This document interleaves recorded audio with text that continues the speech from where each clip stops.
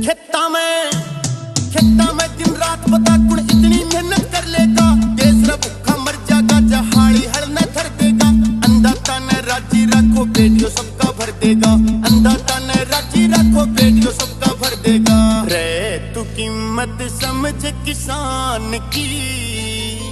सारे मिलकर बात करो इसके सम्मान की। रे, कर लो कदर कर लो कदर किसान की। धान के भाव में लगातार गिरावट आज मंडी का भाव सत्रह सौ रूपए क्विंटल। अजय? हाँ। बेटा खड़ा नाश हो गया। क्यों यार? साढ़े तीन हज़ार पर तो सत्रह सौ का आ गया जीरी का भाव नू थोड़ी उसका है।